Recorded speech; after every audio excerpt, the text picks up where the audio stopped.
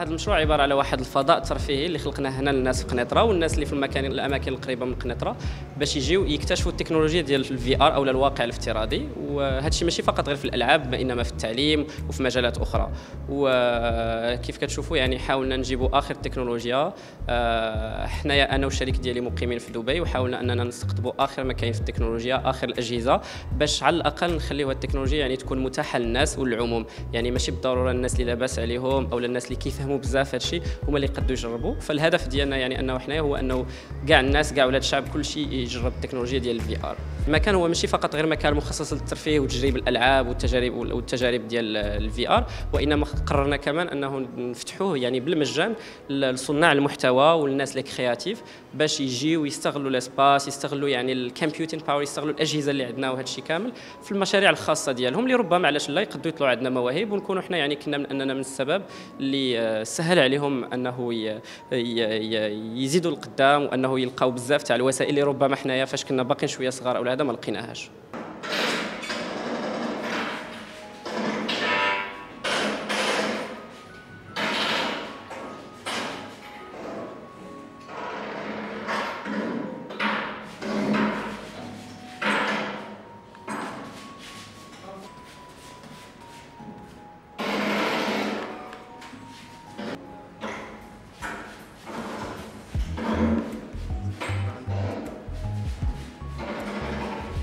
إحنا كشباب كنا عايشين في دبي في الإمارات العربية المتحدة. بحكم أننا شفنا هذا النوع تاع التكنولوجيا كاينة في دبي حاولنا أننا نستثمروا في نفس الشيء هنا في المغرب.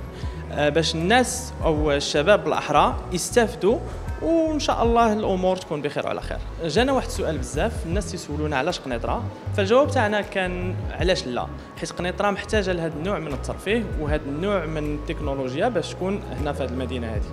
اختارينا مدينة قنيطرة لأن هذا النوع آه، تاع الألعاب أو هذا النوع تاع الترفيه ما كاينش ما كاينينش مثلا مولات أو اسواق تجارية اللي في هذا الشيء فقلنا أننا حنا آه، مادام أننا شفنا هذه الأمور هذه في دبي وفي الإمارات العربية المتحدة أننا نجيبوا هذاك الشيء ونحطوه نديروه هنايا في مدينة قنيطرة.